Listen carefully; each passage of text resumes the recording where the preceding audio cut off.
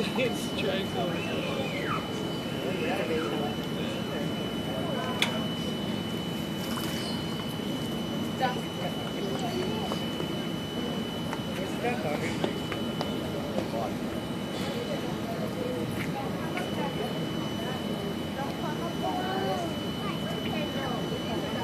babe, look at that one with the